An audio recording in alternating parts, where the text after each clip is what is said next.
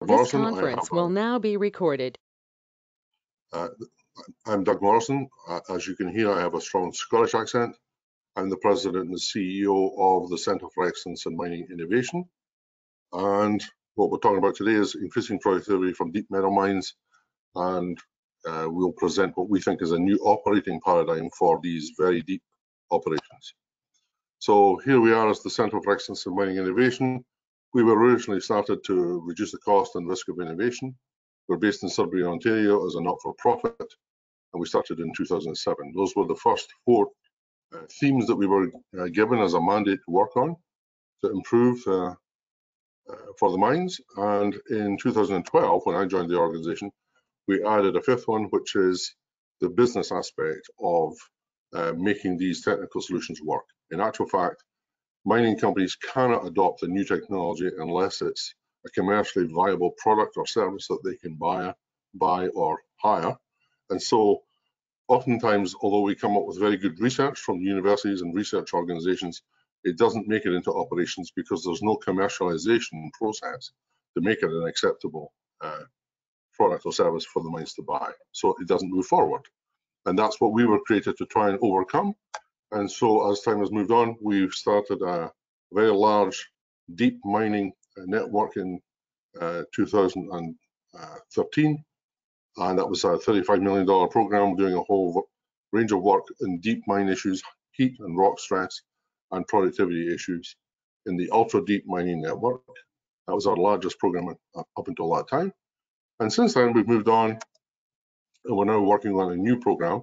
But what we've realized is that accelerating the commercialization of these new technologies and techniques is absolutely the key to what we have to accomplish to move the mines into a new way of uh, performing. So it doesn't really matter which of these technical themes you want to focus on, the heat and rock stress issues, uh, increasing productivity, the digital architecture that we have to use to, uh, for the new autonomous vehicles that we will have to use, or whether it's ecological preservation in the environmental space, all of those things have to be commercialized so that the companies can adopt the, new technologies and improve their performance. And our new program is called the MICA Network, and it actually stands for the Mining Innovation Commercialization Accelerator Network. And it's there to try and improve the performance of the operations, not just in productivity issues, but also in environmental space. So that's what, what we've moved on to as an organization. We exist in this mining innovation niche, and we use the TRL uh, stages to show where that fits us into the mix. We're not an organization that actually does research. There are very good universities and research labs and other agencies that do good research work. The problem is moving that from a research result into a market ready solution that companies can use to improve their performance.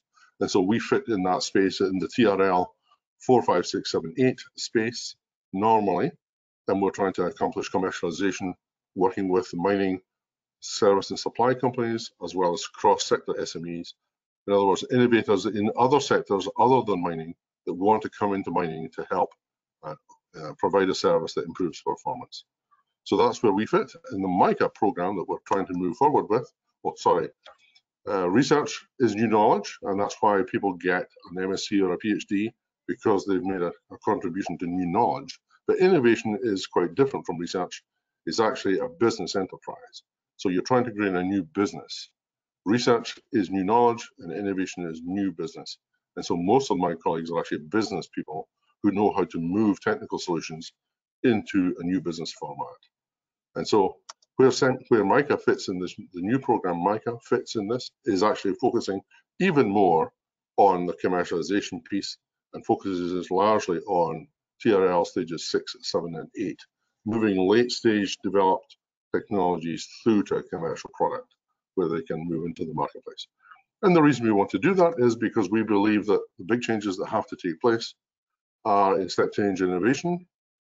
And we want to increase the performance by 200 or 300% or decrease the cost to half the cost or to one third of the cost. So the decrease is 66% because we believe that that's the scale of change that we have to introduce in any one activity that we are engaged in. And the reason we've taken this step is because of a report that came out from Deloitte and Touche way back in 2017 that declared that the mine, uh, mining industry as a whole had declined in its productivity by almost 30%, 28% over the previous decade, from 2007 up to 2017, whether it's open pit or underground, no matter where they are in the world, overall, the productivity had declined in the industry by almost 30%. And we know why that's happening. It's declining grades, increasing operating costs, escalating capital costs, and reductions of ROI. However, we, we take the view that it's not actually just a de decline of 28%, because if instead of investing in these mines, you had just put your money in the bank, you would have gotten 2% or so.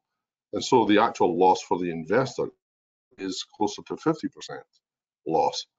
And the bigger problem is what do we do now from 27 onward, 2017 onward? Because it's very simple to extend those lines to the next decade, and those are the results, and they're not very attractive results, and uh, that's not a very good answer for us to, to follow. So what should we do? Well, one alternative is to bring in modifications to the existing uh, technologies and improve the technologies that we have. And what we can see is that beginning in 2017, you might be able to half the decline or even stop the decline. But even if you stop the decline because of the improved performance of your uh, equipment, you can see where it takes you on the investment picture. And so what we think is absolutely essential is that actually we need to make bigger changes in the way technology is implemented, and that means reversing the decline. And that means bringing in uh, real change into a new production paradigm, changing lots of things uh, in the way mines operate. And we're focusing today on the underground mines. So we'll focus on that. So that's the change and the, the scale of change that we want to try and accomplish.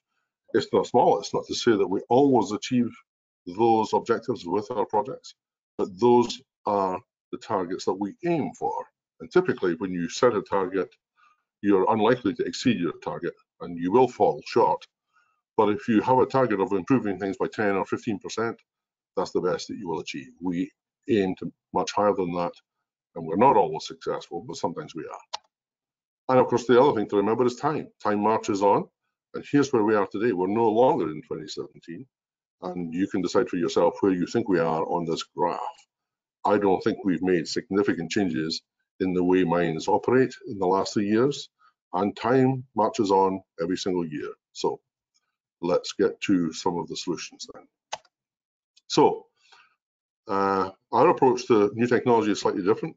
Uh, we look at the business impact of innovation. The conventional approach is simply to identify technologies that might work, compile a technology roadmap of all the possibilities that we might try, and conduct pilot or field trials and take it from there and see what works and see what does not work. It's essentially a trial and error, error approach. Our approach is to say mining innovation is actually a business and we have to be addressing business issues before we start jumping onto the technical solutions. So first of all, analyze the impact on the business of what we're doing, analyze the scale of all the many business impacts that we might have. So for example, we might want to increase uh, or decrease the time to the first revenue, accelerate the time to first revenue, we might want to decrease the total capital investment we have to make to get the project to go forward. And we may want to change the operating process so that we improve the rate return on investment. All of those will have an impact on the net present value. So which of those do you want to do? Which of the one is, is critical for your operation rather than which technology might have some benefit? So then you prioritize the constraints and the bottlenecks each activity in turn in sequence, starting with the biggest, the, the activity that has the biggest impact on your business. And when you've identified that biggest impact, then you go and either find the resolution or design the resolution of the bottleneck. And you do that in sequence, moving from the biggest to the next biggest and the next biggest from there. And so, and those solutions are not necessarily technological. We tend to focus largely on technological solutions, but it can be a scientific advance, or it can just be an organizational change that actually makes the improvement happen. And in terms of a graph, this is what we look at when we consider a business impact of innovation. The red line is what we do today, and we're trying to improve things tomorrow by increase, increasing the, the net present value of the project. One way is to accelerate the time to first revenue, so you start to generate uh, profits sooner. Another way is to decrease the capital investment, and another way is to improve the process so that you improve the return on investment. All of those can have an effect, but the biggest effects are number one, as accelerating revenue has the biggest effect on net present value. The second is decreasing the capital investment, and the third is actually improving the ROI. Uh, at CEMI, we actually believe that you need to focus on step change innovation. Small incremental changes will not have the scale of effect that we need to have. And so we think it's step change innovation is the main process. And so we use this business approach, and the business approach is the theory of constraints. You do the analysis to figure out what is the impact on the biggest problem your business has, then try and address the technical or identify the technical bottlenecks. And there's a book written called The Goal uh, of Performance Improvements, and it, it says that you should basically focus on throughput, and that's throughput of ore in our case, the inventory cost, and the operating expenses. And you use the operating expenses to increase the throughput of your operation and decrease the inventory cost of your operation. And those are the only three things to focus on. What that allows us to do is to say, in actual fact, we're moving on from a technology roadmap, which is just like a map. It's, it is exactly like a map. It says these are the technologies available. These are the cities you can travel to in the map that you have. And you can pick and choose which one you want to use. The GPS, on the other hand, is kind of like this theory of constraints approach, systems approach, which says we actually have lots of constraints. And so we're not completely free to go to any destination that we want to go to on the map. Some mines have some other different conditions from others. Some are shaft constrained, for example, some are open pits, etc. So you have to decide the technology that suits you in the context of your operation. If you're very deep and very hot, then you have to take account of the heat conditions. If you're relatively shallow, you don't need to do that. So it's not which technology is the best technology, it's which technology is the best one for you in your circumstance. And so that's essentially changing all of those things all the time as your mind gets deeper and deeper, the conditions change. And so you change the technologies to suit.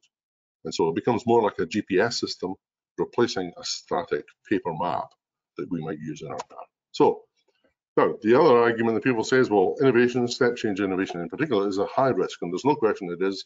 There's a risk associated with changing anything. But that's only a real risk if in your business, no innovation means there's no risk. But that is not true for us in our mining business. Because if your operations have anything like increasing depth, increasing heat, increasing cost in your future, then your net present value of the, of the project is actually declining all the time because of the erosion of those factors. So if, as your mine gets deeper and hotter and more costly to operate, you do not change your production process, then you're actually becoming less and less profitable. So no productivity improvements means a declining net present value for the project.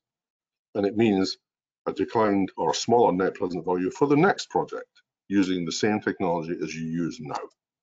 So here we go. Let's talk about the actual technologies because that's really what everybody mostly wants to talk about. We believe that the future means that all of our equipment underground has to be electrified, has to become autonomous, it has to be continuous operations, and we have to lean the production process in very much the way that the manufacturing industry has done, and it also has to become much more sustainable in terms of how we manage our waste streams. So the new operating paradigms for mines will be new tailings, new, new tailings storage systems that allow us to have full and final closure, uh, self-sustaining systems. We'll have many fewer people underground because we'll use a lot more autonomous vehicles. And the few people that we do have underground will be protected in a much more comprehensive way with their PPE, the comprehensive PPE. The comparison I would make is with soldiers from the era of the Second World War versus soldiers in the military today because it's a much smaller force and a much more professional professional force, you can afford to spend a great deal more money on the individual Uh, equipment that the individual soldier carries. And so they become a much more sophisticated force. That's the kind of change that will take place with people. Ventilation, mines are now becoming so deep, below 2.5 kilometers, it becomes very hot and very humid, and it becomes extremely expensive to, to, to supply cooling ventilation to the entire underground space.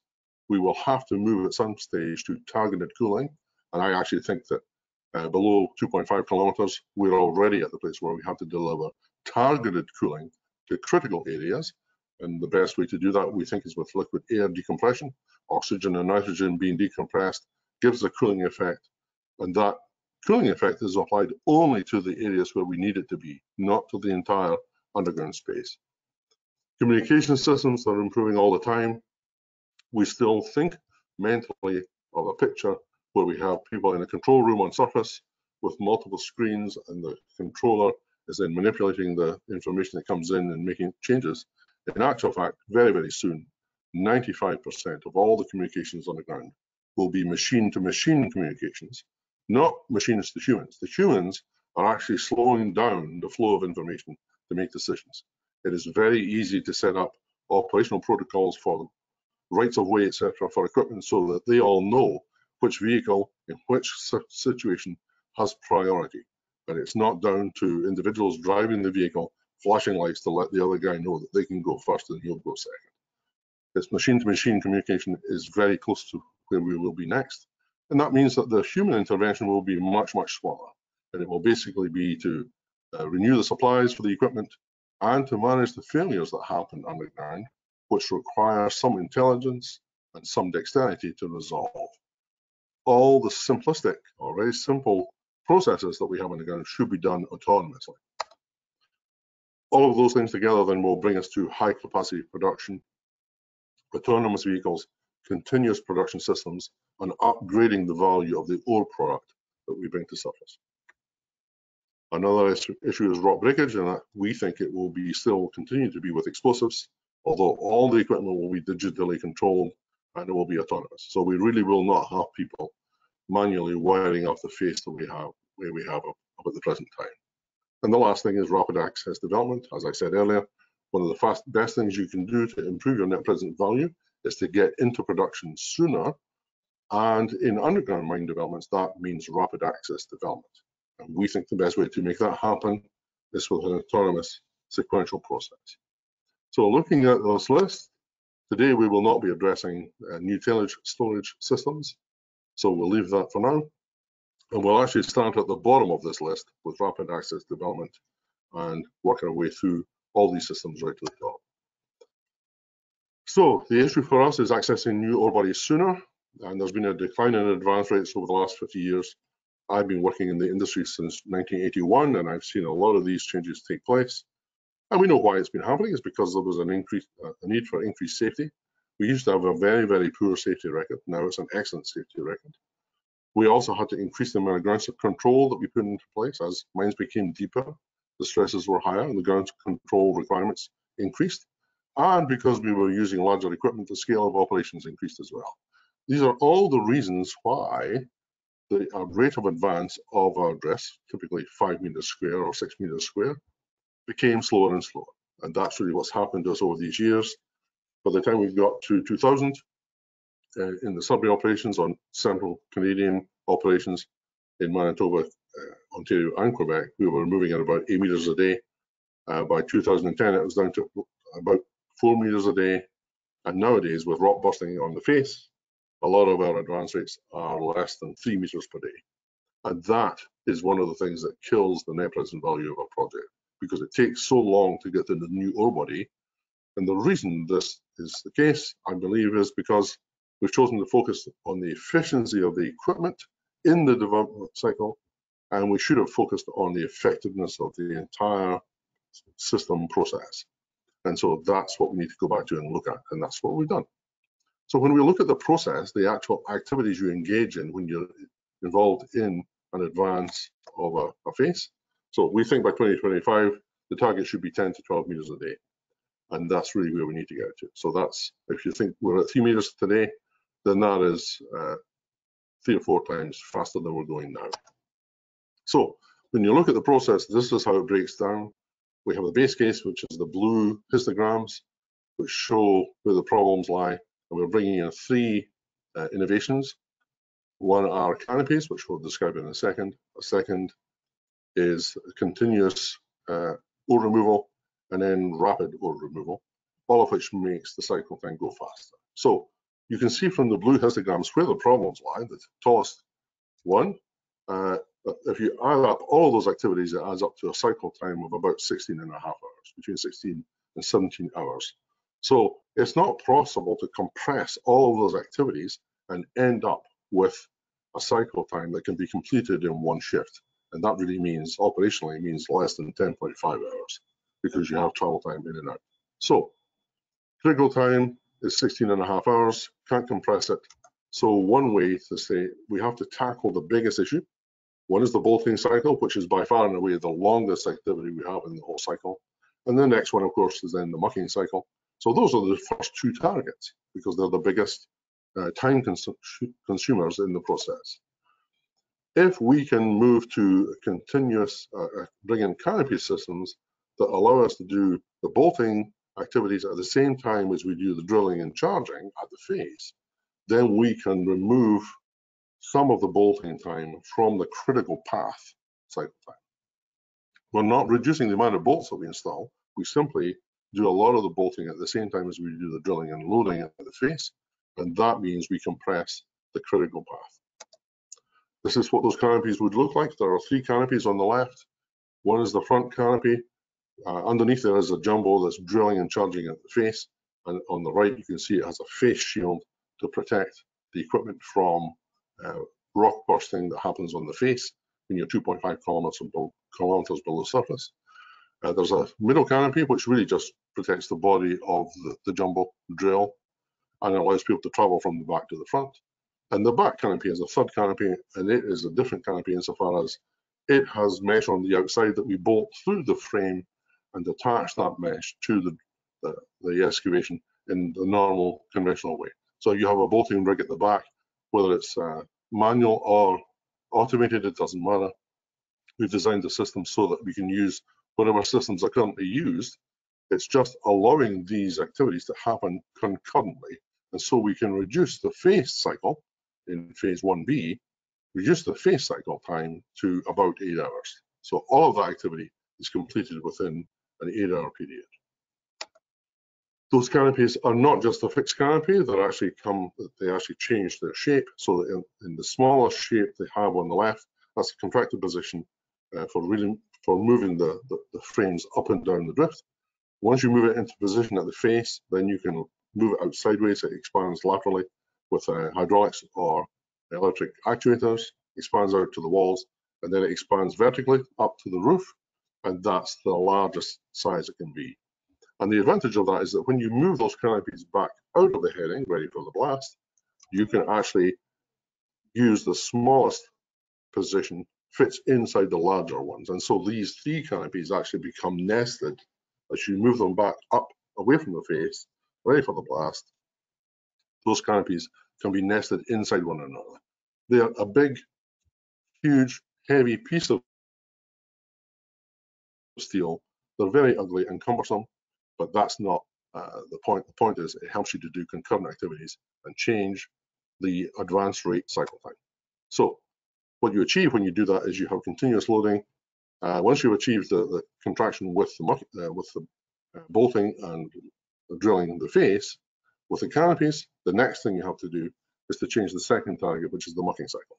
And that just means moving the ore or the broken rock out of the heading as fast as possible.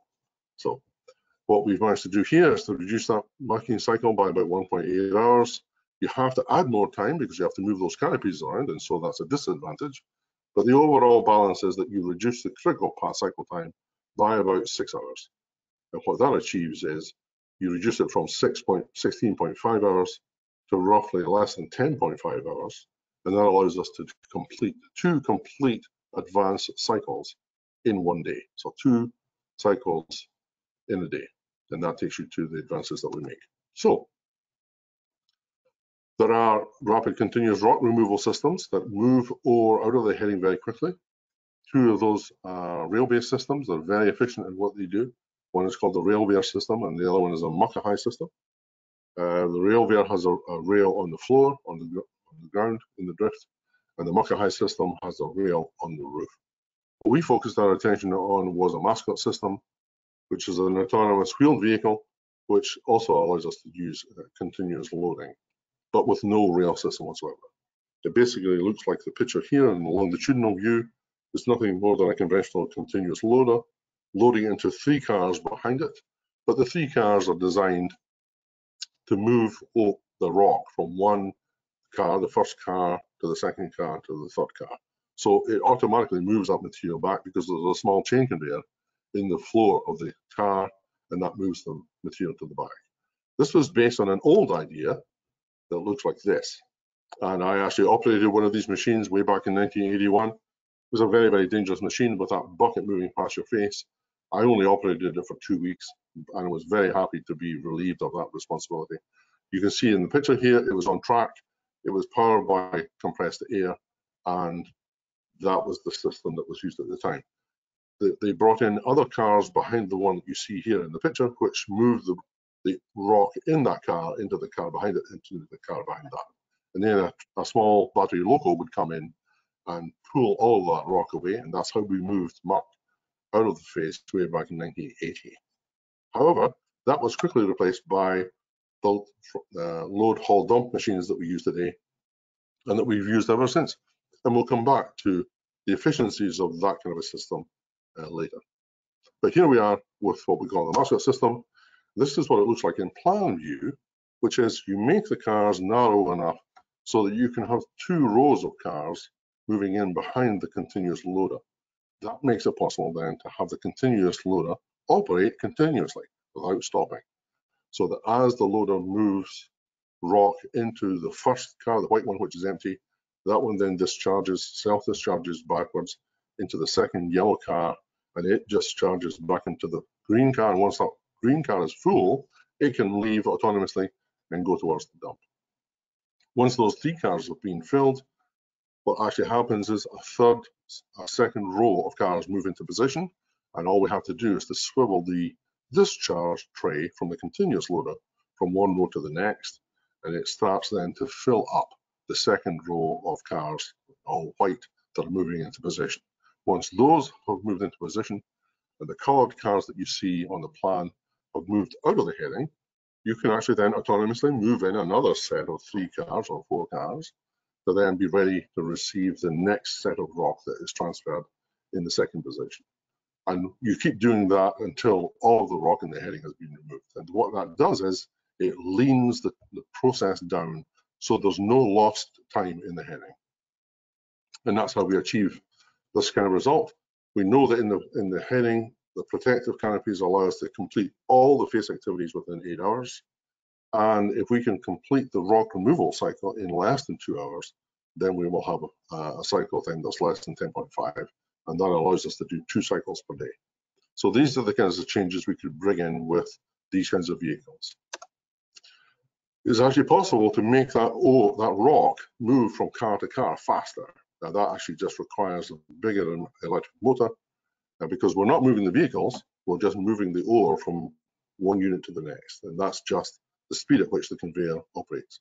But what that does do for us, if we can, first of all, move the rock faster and remove another 0.7 hours from the cycle, we can also then re remove another 1.4 hours from the cycle to take us down very close to eight hours for the cycle time. And that means three cycles per day rather than two cycles per day. So where do we get the 1.44 hours? Let's go back to the graph that we looked at when we wrote down the process. And over the, on the extreme left-hand end, we have activities that are called off-shift activities. That's basically safety talks, it's sometimes having breakfast, it's sometimes refueling the vehicles. Unfortunately, sometimes in our minds, it's actually about finding the vehicles where it was left in the wrong place. So all of that activity is eliminated from this because all the units now are beginning to operate autonomously. And that allows us to gain another 1.4 hours at least. And that means that the critical uh, path cycle time is reduced, first of all, by the six hours. Now we can add another 2.5 hours, which is 1.4 plus 1.1. And that gives us a total cycle time of about eight hours, just because we're moving the rock faster from that heading. So that's the activity. The important factor in all these details is that the productivity of the process is controlled by the utilization of the face, not the utilization of the equipment, not the utilization of the people. The most expensive component of the entire process is the value of the face. And so we're maximizing the utilization of the face. What we have in many of our cycles is a lot of time when there is no activity taking place in the heading whatsoever. And what we're trying to accomplish here is to having no dead time at the face. The face is constantly active with one vehicle or another doing the necessary activities. And when you do that, then you move from 3 meters a day to 8.5 meters a day, which is 2 times 4.25, then you can see the change that you have. If you have a 3 kilometer drive to the new ore body, then you can complete that in 18 months sooner than you otherwise would, and that adds to the net present value. If you can do that at 10 meters a day, then your 3 kilometer drive can be completed in 300 days, which is almost two years sooner than you would arrive if you did it at 3 meters per day. And again, you increase more value to the net present value. So there we go. That's for the activity at the face, and it's accelerating revenue from the new ore body that we get to much faster.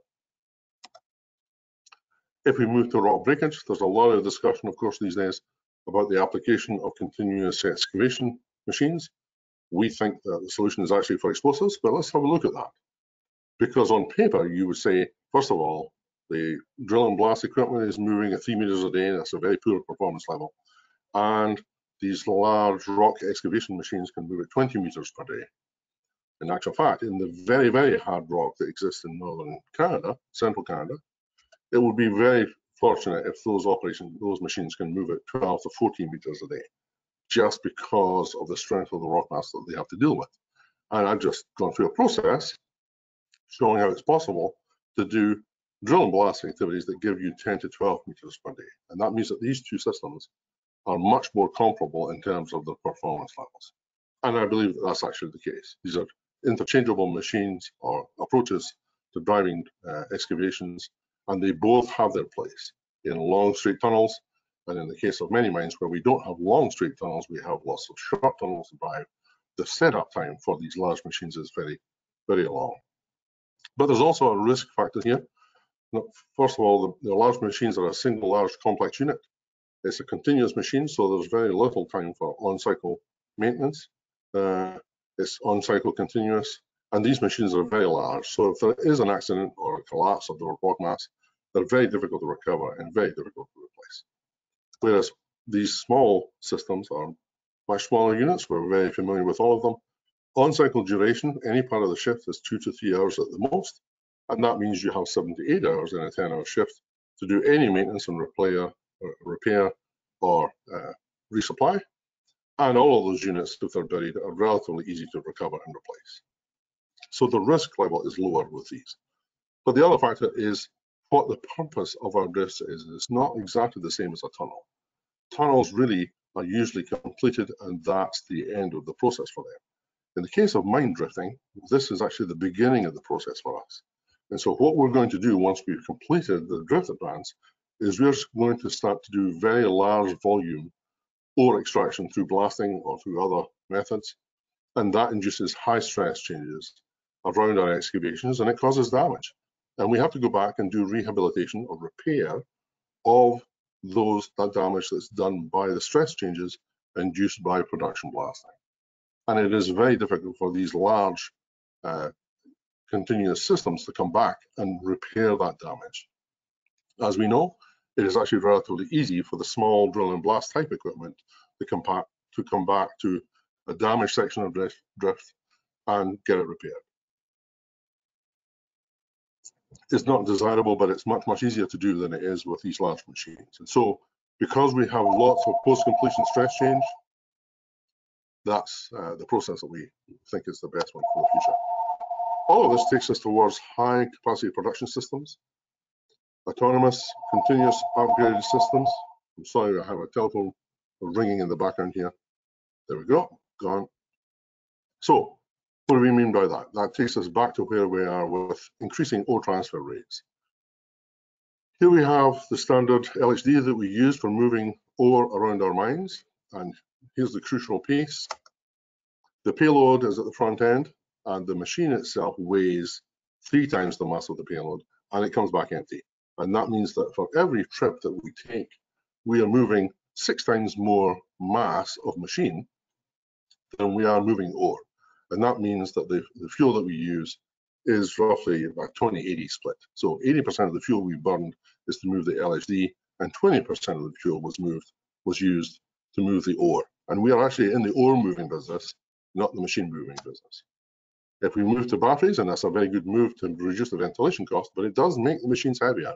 And so the transition is you have a heavier machine now, and the payload is exactly the same as it was before. The reason for doing all the things we do underground is to move payload, not to be moving equipment. And so how do we make a change here? Batch or transportation system. The problem is essentially that the haul and dump time is very much longer than the loading time. So the ore transfer rate that we have typically for our underground operations is 100 to 150 tons an hour, which is 2,000 tons per day per drop point. Very simply, if you dig into the muck pile for maybe 30 seconds and you travel out for two minutes, you dump for 30 seconds at the other end and you travel back for two minutes. That's a complete cycle time of five minutes. But the ore pile utilization is only 30 seconds out of the 300 seconds you used. So you're only touching the ore pile 10% of the time. And it's the ore pile that has value, not the equipment, not the people. That's what a normal theory of constraints business application would say is focus on the utilization of the ore pile because that's where your inventory cost lies. All of the cost that went into creating that ore pile is your inventory cost. So the critical factor is the utilization of the ore pile, which in this configuration is 10% of the time and 90% of the time, no piece of equipment is touching the ore pile at all. That means if you want to have a whole ore pile being moved at any one time, and this system means you have to have 10 uh, draw points with 10 LHDs moving 10% of the time. And that's high inventory cost. The alternative then is to move to these kind of continuous loading systems. Uh, we know that conveyor belts are very, very efficient. 95% of the energy on a conveyor belt is to move the, the product and 5% is to move the belt. But in the kind of material that we want to move in hard rock mines, conveyor belts are just not possible. But this machine on the left uses a steel conveyor. And that steel conveying system basically means that 25% of the energy is to move the conveyor and 75% is moved to, to move the product.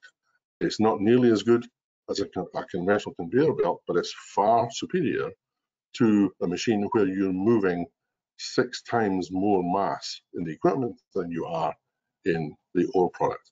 So this configuration then says you now have an ore transfer rate of between 500 and 1,000 tons per hour, just because of the speed at which you can move the conveyor. And that's five to six times faster than you can move the LHDs. So the critical factor here is the utilization of the ore pile.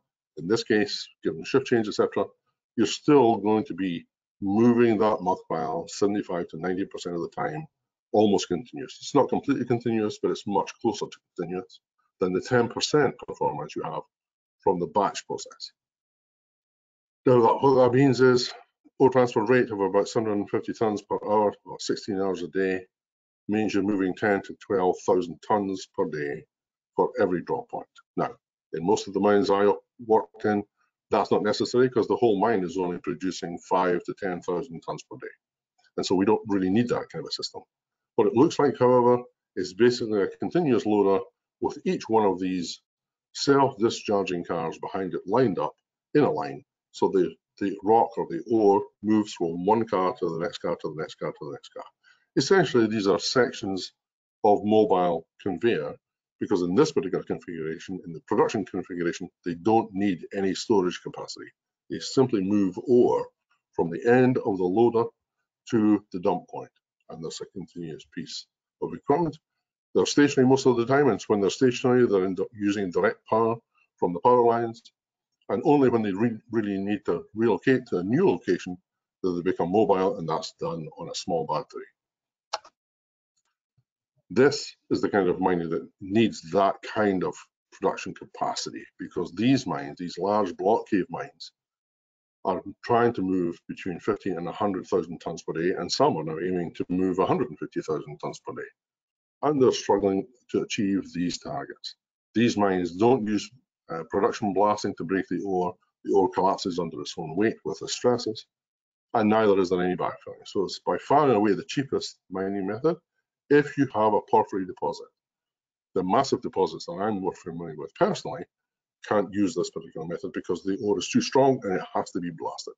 But these mines have a much different uh, rock strength and they operate in a different way. So that's basically the process with uh, production level and extraction drives and then a haulage level underneath where the trains take away this large material. This is the plan picture of exactly that system. Each of these green lines vertically going from the main axis at the top to the main axis at the bottom, these are the extraction drives. And these extraction drives are about 400 meters long and they have about 20 different drop points all the way along the length of those extraction drives. And so what we tried to do was to do a simulation of this kind of process. You can see that the area in the top right is where the drop points have now uh, pooled to waste, and so those are being abandoned. And in the bottom left-hand corner, we're actually developing new extraction drives. And so the development front and the production front are moving forward from the top right-hand corner down to the left-hand corner. So if we think of the, the whole picture being north and south, so it's moving from the northeast diagonally across to the southwest, and that's the production process. There are ore passes on the north periphery of this production system and on the south periphery of the system, and there are also sometimes uh, mid-drive passes, but these are very problematic and very difficult to deal with, so we won't really focus on those very much.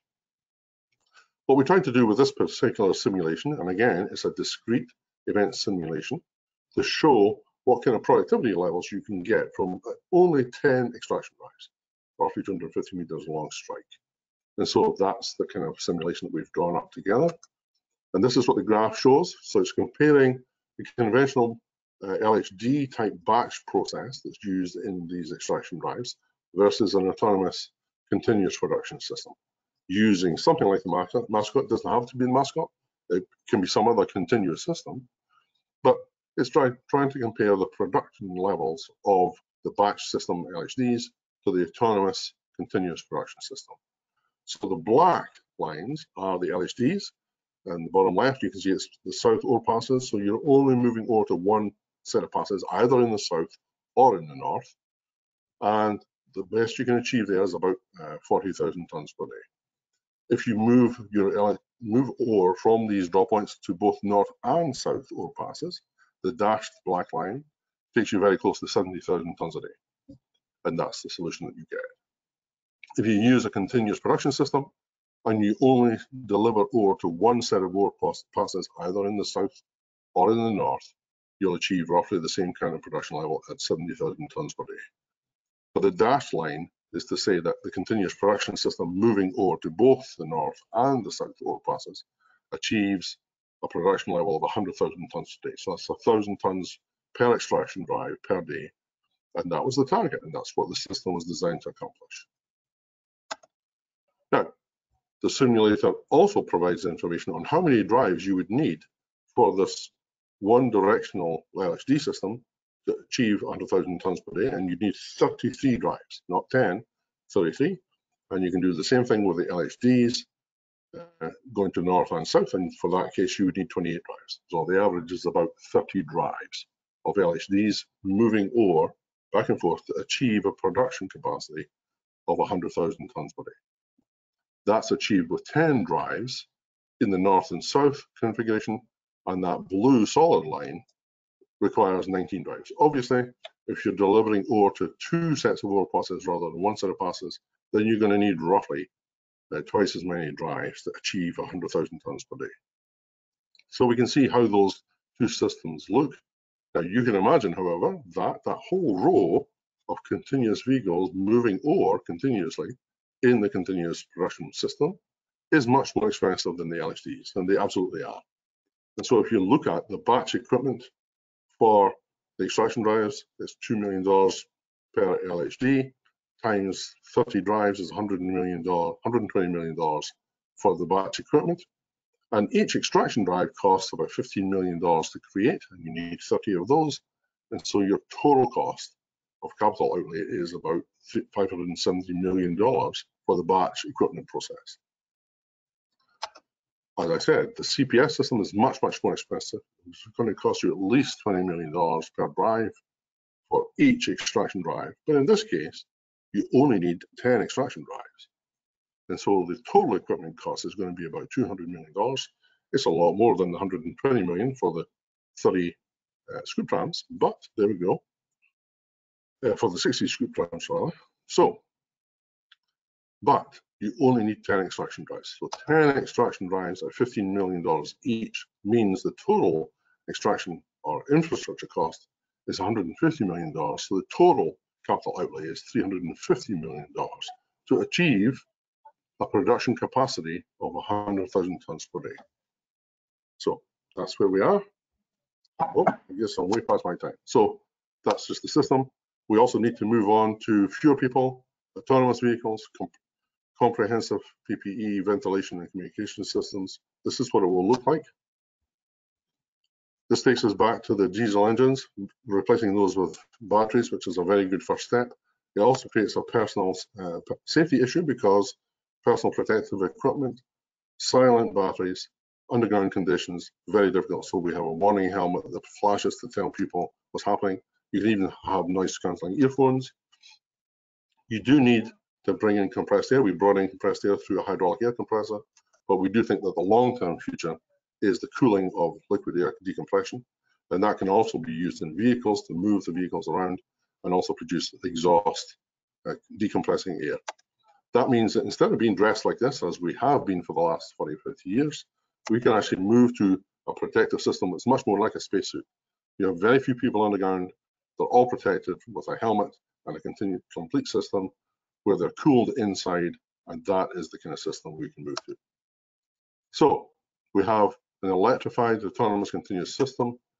There's the equipment moving from the LHDs that we have today. It's taken us 40 years to consider this transition. I think we can complete the transition by 2025 and move to a much higher production level. And in terms of people, we're going to look not the way we did on the left-hand side, the way we have done since I joined the industry in 1975, but moving towards many, many fewer people underground, but with much, much higher levels of capacity in terms of communication and protection against all the hazards, heat, humidity, as well as physical injuries and far superior communication systems built into the helmet. All of this is to produce a lower operating cost. That means you can then have a lower cut-off grade for the mines, and more ore means a longer mine life. And that's what we're trying to accomplish with the operations that we currently have. It would be great if we could actually move forward to producing more mines and opening more mines faster, but that's difficult for us to do. And that actually takes us back to the new tailing storage systems, which I'm not going to focus on. So let's finish here by just saying this is the kind of systems that we have. I'm happy to take any questions we have because we're running out of time. So let me stop talking and answer any questions that any of you have. Thank you. Thank you, Doug. That was uh, very informative, and we do have uh, we have a question in the chat right now, and I would encourage uh, the participants online right now. Um, if you have any questions, please uh, please put them in the chat, um, and then we'll take them up as uh, as they come along. So the first question, Doug, if you're ready, I will read it out. Yep. Uh, is by Carmine um, Ciriello. Uh, and they're asking how are you convincing the mining industry to embrace discrete event models and bottleneck or constraint theory to drive improvement and decision making? Very few operations, I'm sorry to say, have adopted this particular technique. We think it is the way of the future. Uh, there's a lot of discussion now about digital twinning, which is an even more advanced process because it actually uses not just the spreadsheet output that we get from a discrete event simulation, but it actually shows all the equipment moving. It's much more sophisticated, and it may well be that we need a more sophisticated uh, uh, simulation process for the mining industry to buy into, rather than just the relatively simple step of moving to discrete event simulations. So as I say, we have not been very successful at getting acceptance for this particular technique, but uh, the result is that there's relatively few changes taking place that improve mm -hmm. the product capacity of our mines. Uh, I have a question from Phil. Uh, will these new methods leave more of the waste rock underground? Ah, very good question. It is certainly possible to do that, and I did mention in the third bottom line, upgrading, which I didn't touch on at all. That means improving the value of the ore. Oftentimes it's called ore sorting, and that means removing the low-grade ore or the waste material from the flow of ore and leaving that underground. It is absolutely possible to do that in open stoping mines with backfill systems because mm -hmm. it's then possible to set up uh, an equipment loop to move the material, the waste material that's been removed from the ore stream, you can move that and consume that in the backfill system. So in open stoping operations with backfill, you can absolutely leave more of the waste rock underground. The problem for the very, very large block caving mines is that they don't have a backfill system. And so their problem is that they don't really have anywhere to put the reject material from the upgrading process, whether you call it uh, ore uh, sorting or in my case, I would call it waste removal or waste diversion from the ore stream. The problem is, where do you put the rejected material? It's very mm -hmm. easy to do on surface, so it's very easy for open pit mines to do this, but underground mines have a few difficulties to overcome in order to leave more of the valueless uh, waste material behind. Absolutely the right thing to do, but it's not quite so simple for underground mines to accomplish. Mm-hmm. Uh, all right, so both Carmine and Phil have said thank you for your answer, and we have a couple more questions. I see a question from uh, William Quesnell, um, and they are asking, do you see any new innovations in drilling, say automated drilling units, built into the protective canopy that swing into position and automatically drill the next round, then retract back into the canopy? Yeah, that's exactly how we would see that. We wouldn't see it being retracted back into the into the uh, canopy, Bill. We would mm -hmm. see it mm-hmm. as being part of the vehicle that moves in underneath the canopy. And so, yes, completely uh, speeding up that drilling process. Uh, as you know, in, in the old days when we were doing it manually, we had to drill one hole and install one bolt uh, and do that in sequence. Since we have an automated process underneath the canopy, we're protected from the rock falls by the frame and by the mesh on the outside. And so we can actually be drilling four holes or six holes at a time mm -hmm. and uh, not uh, engage, you know, we can speed up that whole process by having multiple drilling, multiple holes being drilled at the same time, and then the whole system then installing those bolts in that ring, and then the whole rig of drills moves through a certain angle, rotates, and then installs another set of holes that is the next step on beyond that, and that will reduce the time component of the drilling uh, system. So yes, Bill Quesnell, that is exactly the way of the future.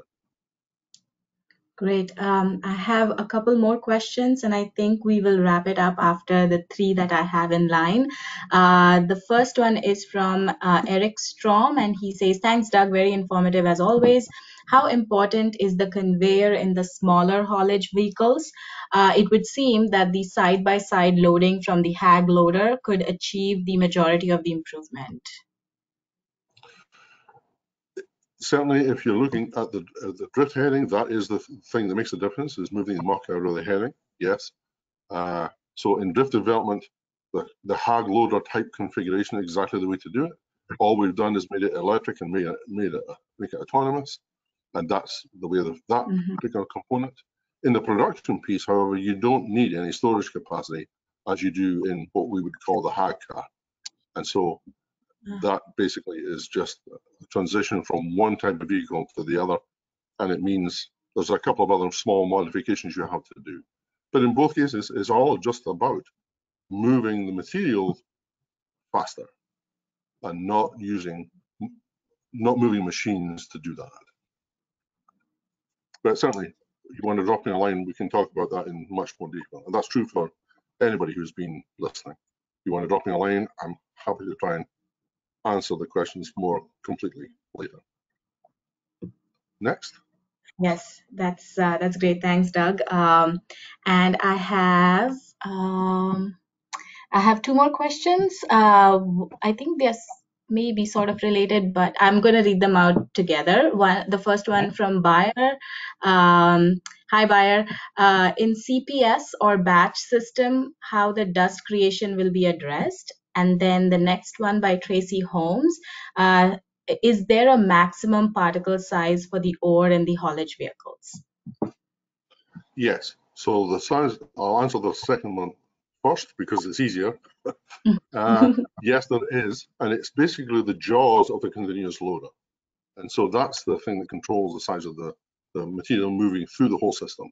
If it can move on to the loading conveyor, then it has to be able to move through the entire system. So all the vehicles behind, whether they have storage capacity or not, have exactly the same movement capacity and size capacity as the loader itself. So the loader defines uh, the largest size you can have. The advantage of a loader over an LHD is that the mm -hmm. loader typically can have uh, what we call a cherry picker or a hydraulic hammer on the end of the arm. And that can reduce some of the oversize to make sure that the material can continue to move through the jaws of the loader and move on down through the flow system. So that's one way to modify it. Dust, of course, is a big, big issue. And I believe that the way that's going to be managed in the future, certainly on drilling dust, uh, should be controlled by using uh, what I think is the liquid air cooling mechanism inside the drill uh, head and capture the dust at the drill head, whether it's an ITH uh, component, so capture the the, the chip, the chips and the dust from the drilling into a canister by using a Venturi system that uses the decompressing uh, compressed air and capture the dust at source at the collar of the hole, whether it's the vertical holes for production or the horizontal holes in the face. Capture that dust at the face, uh, eliminate the problem, because one of our problems underground is humidity. And if we stop using water to cool things, then we can use decompressing liquid air to cool things down, so long as we capture the dust. In the case of a drop point, yes, we've actually configured a system where you actually essentially use a set of balloons at the heading and surround those vehicles when they're, uh, and you can capture all the dust again using a decompression system and a Venturi system to capture the dust in the heading so that the rest of the operation behind the active phase is not subject to the dust that would normally be flowing through that system. Remember, because we're producing, we're, we're delivering targeted cooling, we're no longer moving the vast numbers of, of air through the whole system that moves dust through the whole system. So there's no question, controlling dust and managing dust, dust and capturing dust is an issue that has to be addressed. I don't have 100% of the answers, but I think the solutions to this problem are achievable. Mm -hmm. Great, thanks, Doug. And uh, like you mentioned, um, the participants are uh, welcome to uh, connect with you offline for detailed discussions, I believe.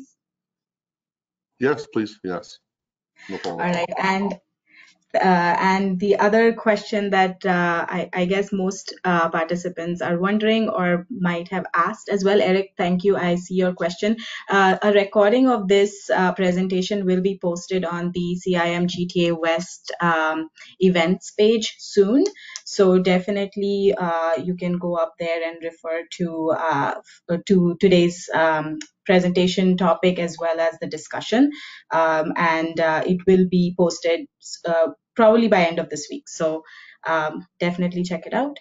Um, yeah, thank you. Thanks, Doug. It was uh, great having you as the speaker today, and the present presentation was definitely very informative, as we can see from the questions and also the uh, the feedback that uh, we have received so far.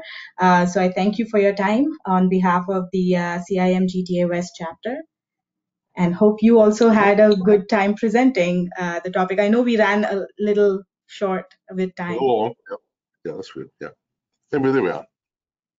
It was yeah. better to focus on the things we focused on rather than